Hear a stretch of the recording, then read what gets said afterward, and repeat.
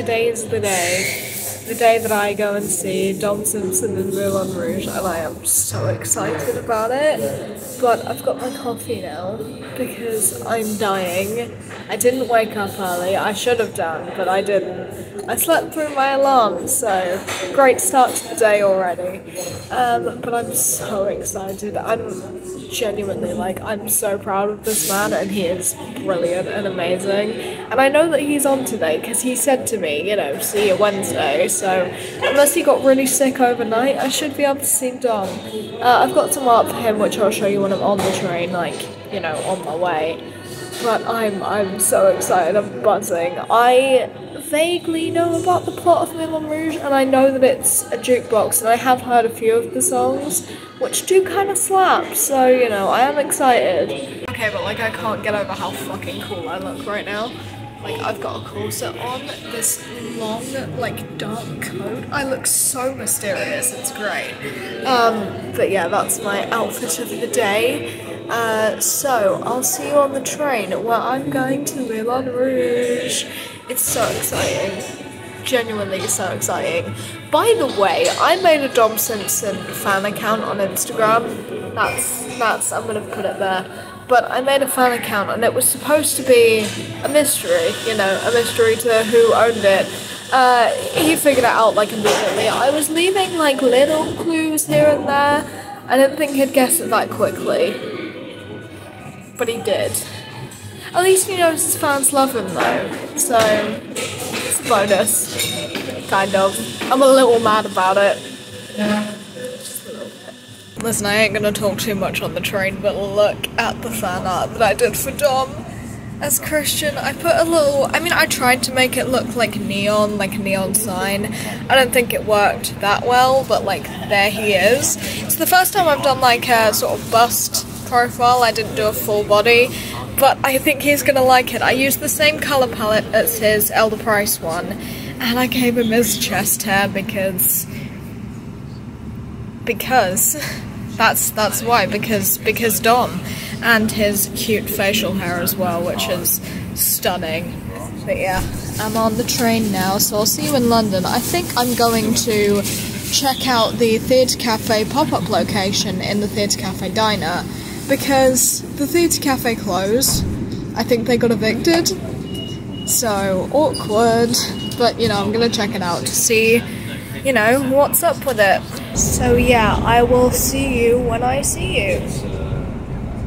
In London, hopefully. By the way, kind of sad update on those playbills that I was getting. Uh, so they didn't arrive. They got lost in the mail. Uh, that was the Gutenberg and the Back to the Future ones. So I messaged the person that sold them to me. She has a spare Gutenberg one, but not a spare Back to the Future one, which sucks. Because I'll probably just have to get it from somewhere else uh, for a similar price, I guess. I'm not paying more for it. Um, so I've settled with a Coming From Away one to replace the Back to the Future one, but I'm still really gutted. So, you know. Okay, so I made it to London. Here's a clip of me rolling in on the Southwestern Railway. We made it to Waterloo. I was so, so happy. So, my first stop was obviously Piccadilly Circus, where the Piccadilly Theatre is. Uh, I wanted to check out Book of Mormon. They had a matinee. I was going to see who's about. Look at me being quirky. I was trying to do Tube Girl. Speaking of the underground and the tube in general, I never, never expected to see a Hadestown poster in a British tube. So it's really exciting that it's coming to the UK, but I really, really want to see Stranger Things. First. Yes, first. Okay. So, I came out of Piccadilly and immediately saw the Book of Mormon, obviously, and I was thrilled. But, you know, that's not where I was going, so I headed over to the Theatre Cafe Diner, where they had the Theatre Cafe pop up, which was really fun and exciting and interesting. You know, it looked like the diner in there, but they had a sign saying that, like the cafe, you yourself could perform songs. I, I wasn't going to. The menu, however, was kind of like a mix of both places, although I think it was the diner lunch menu I guess they have a lunch and a dinner menu. And I also found a Newsies poster, because, like, what the hell? That's so cool. Um, I added to my piece of Dom art by adding a little message to him and started my day off with a cocktail, a little purple rain. It's one of my favourite cocktails, don't judge me. It's absolutely fantastic. Okay, so the vibes in here were immaculate, as always. A little bit less stressful when it's a bit more quiet. Um, I'm gonna sort of be quiet now while you can read this very sweet message that I wrote to Dom on the back of his fan art because he deserves the world and I love him. Um, yeah, it was really sweet. Uh, for lunch, I had a quesadilla with chicken. It was really, really good. And to finish it off, I had a coffee as kind of like my dessert. I, I do that a lot for some reason. Cutting out on my little like voiceover bit for a second. This is like the only like cafe place where I can like not stick my headphones in to get the right ambience. It's perfect. Until this moment, when I walked underneath the theatre here, I didn't realise Peter Pan Goes Wrong was coming to London for Christmas, but oh well. Uh, I found the Piccadilly Theatre stage door first, just so I knew where it was. This theatre is gorgeous, like, I absolutely love it. But yeah, this was my seat. I was in the Grand Circle A27. Being row A in any sort of circle, dress circle situation is wonderful.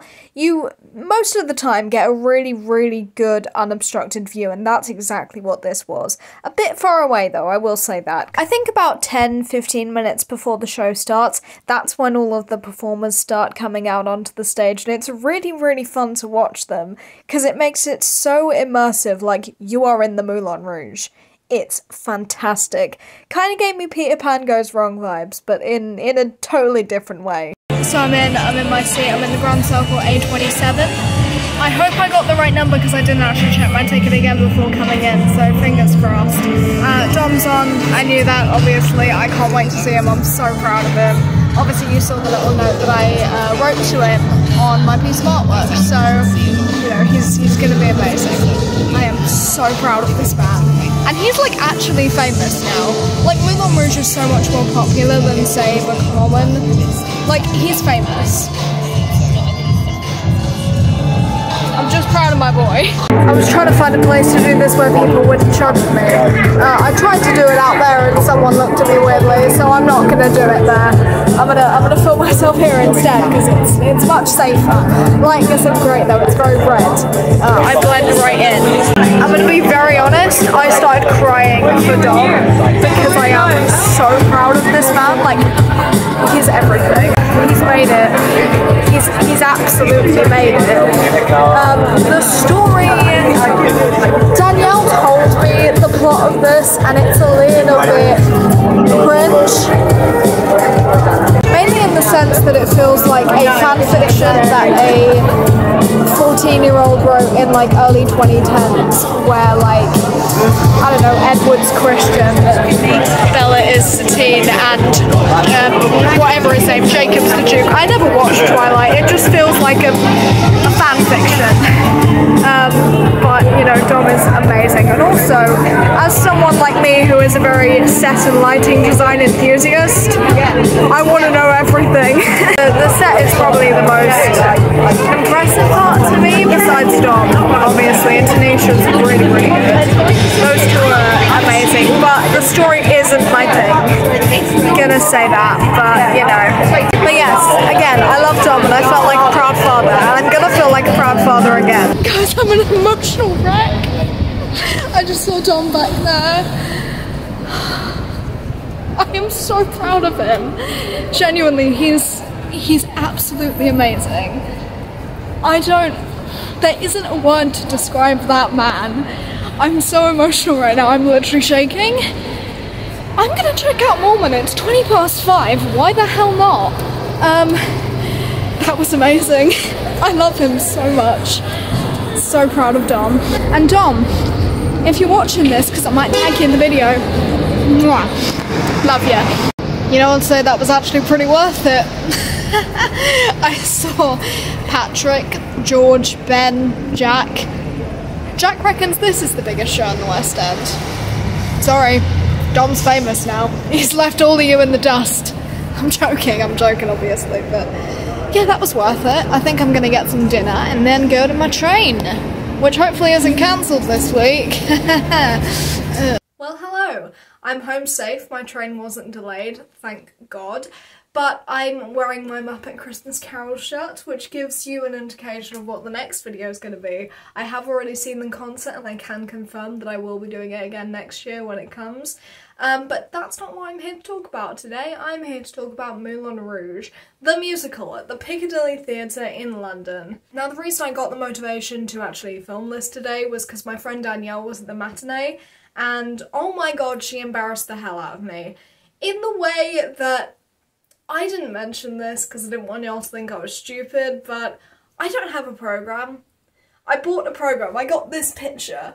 This, this, you know, the picture that you have to get every time you go to a theatre. And I left my program under the seat. It's gone. I didn't realise until I was already like way, way, way away. Like that's in the trash. Um, so Danielle was very kind. She got me another program and she got it signed.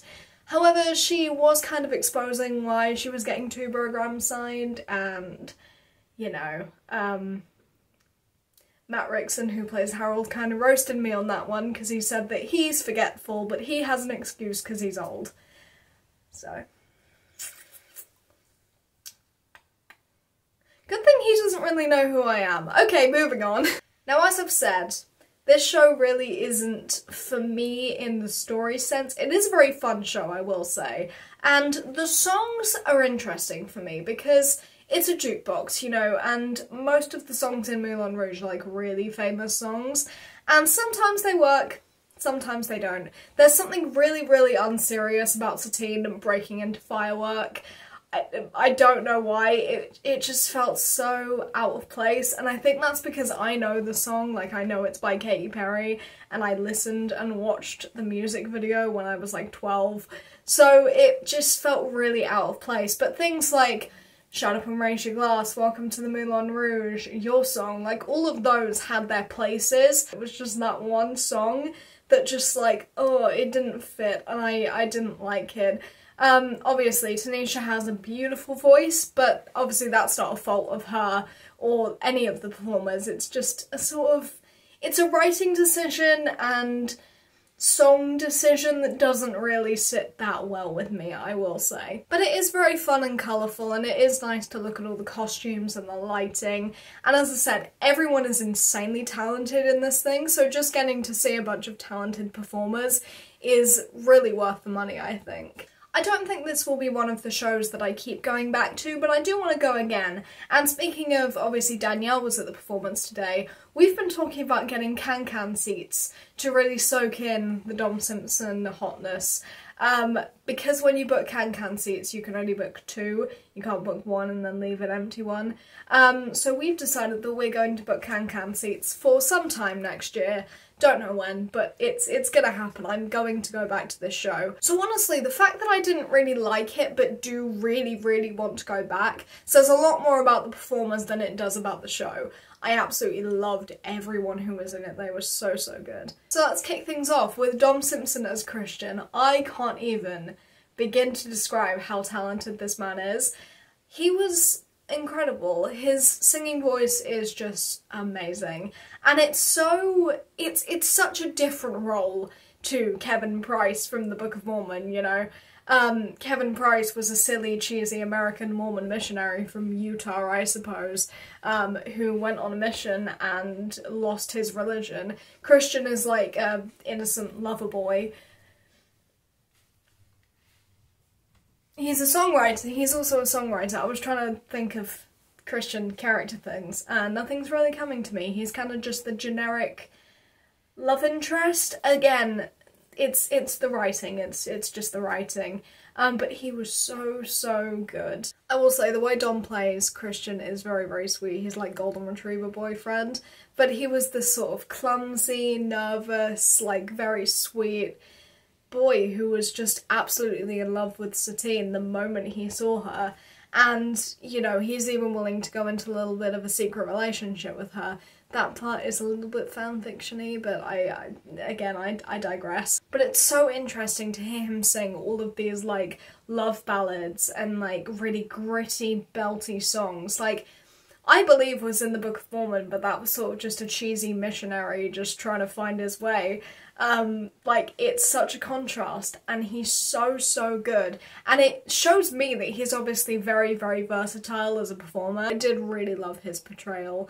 Um, and you could really tell that he dealt with the emotional scenes and the funny scenes and everything just like so differently but also so coherent to one character now, there's one thing I will say, and a lot of people have been saying this, and I don't want to be like mean, and it is constructive, it's it's definitely constructive, but his accent kind of jumps all over the place.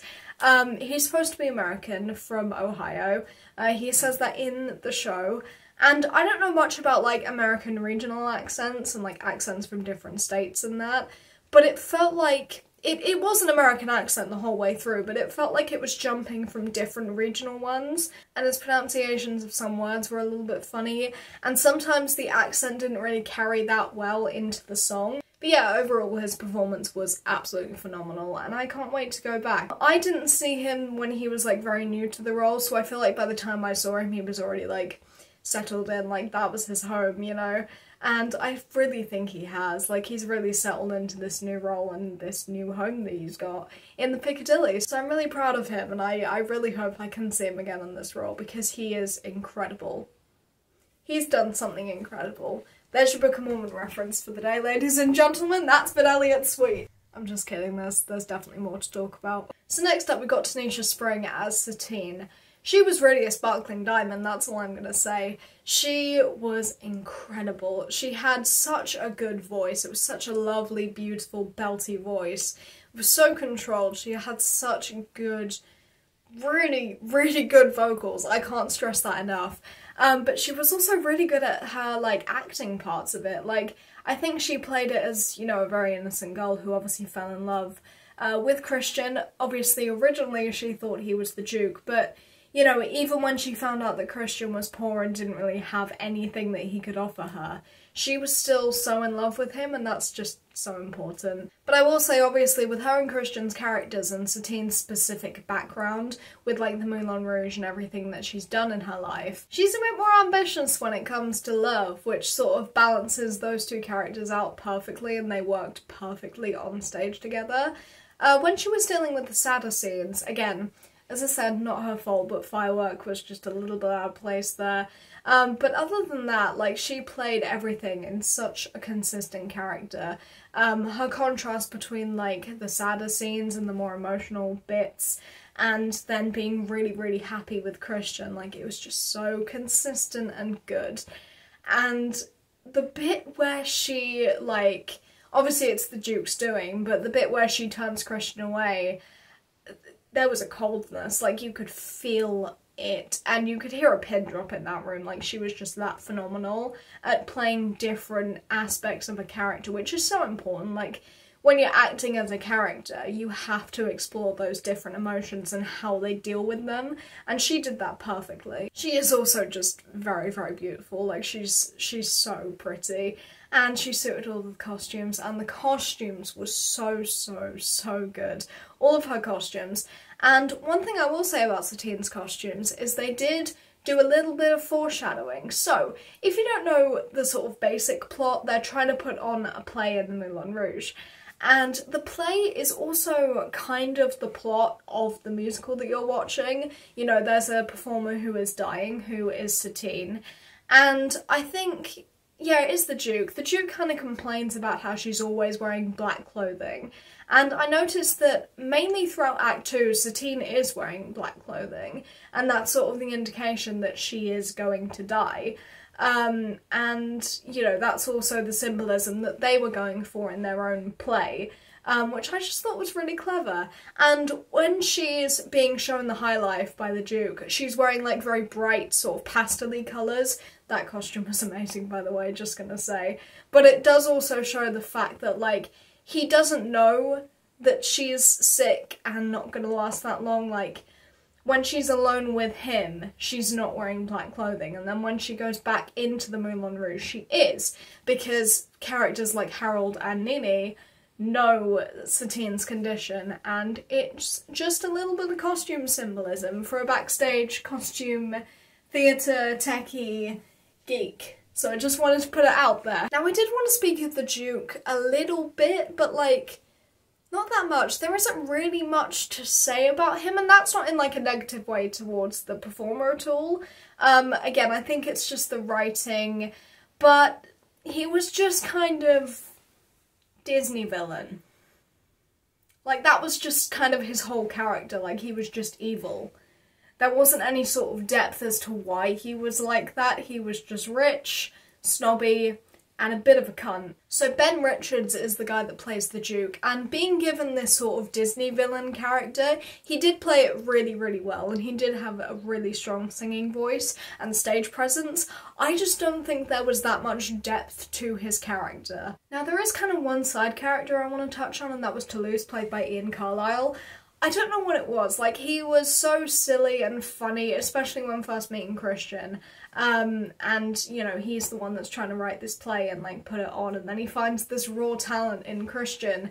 And when he figures that Christian has fallen in love with Satine, you know, he remembers his own relationship with Satine. And he played it so well, being the sort of, like, you know, it didn't work out with me, so, like, don't give it up. Like, you go and you love her um, so he had kind of a sad story, and I think it was after Come What May, like um, Christian and Satine's little duet. Um, he had his own part of that song to sing. Um, because he never got to sing it with Satine. So I just think his character was really sweet, funny, sad. He was just a perfect balance of everything, so shout out to Ian. Finally, I do want to touch on Matt Rixon, who played Harold. Now, Harold is like the owner of the Moulin Rouge, obviously before the Duke buys it off of him. But, you know, he's very much a father figure to Satine. He is very silly and goofy, especially at the start. He's got this sort of ringmaster vibe. He interacts with the audience the most, but I think that makes a lot of sense because you know, they set the theatre like you're in the Moulin Rouge. So if he's like the owner slash host, there you go. Um, but he was just really funny. Um, he handled the funny parts a lot better than the sort of sad emotional bits um, because I feel like he was obviously still being very, very harsh to Satine, like sort of pushing her because she had to marry the Duke, otherwise they would be sent out onto the streets again. Um, I also kind of found his relationship with Satine a little bit weird. Like, there were some things he did that I just don't know if it's supposed to be like a father-daughter relationship or something a lot darker. Um, I mean, this is the Moulin Rouge we're talking about. It, it could be. Um, but, you know, he was very funny and silly, and I did love him. And for that I say, well done. But he is kind of played to be this very silly, goofy guy. So I feel like when there are the darker moments with him, it's sort of a bit of a shock, you know? Like someone that silly and happy can be that, like, horrible. Um, but yeah, you know, hats off to him because he was great and obviously one of the most memorable parts of the show, especially in sort of the supporting cast. Obviously Dom and Tanisha were the, the most memorable, but you know, shout out to Matt. Anyway, I think that's going to do it for my little review on Moulin Rouge. I really did enjoy this show, even if the story isn't for me. The general show and like the look of it and the sound of it is enough to bring me back for a second round. But the next time you see me, I'll be seeing the Muppet Christmas Carol in concert at the Eventim Apollo in London Hammersmith. So I'll see you then. Bye bye!